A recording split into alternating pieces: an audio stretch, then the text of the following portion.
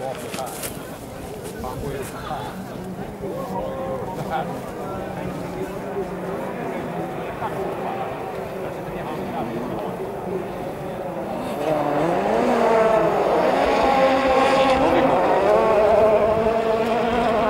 hem zeggen ze nog niet veel op de radio.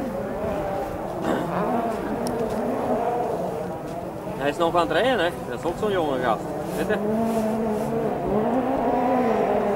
je? Dat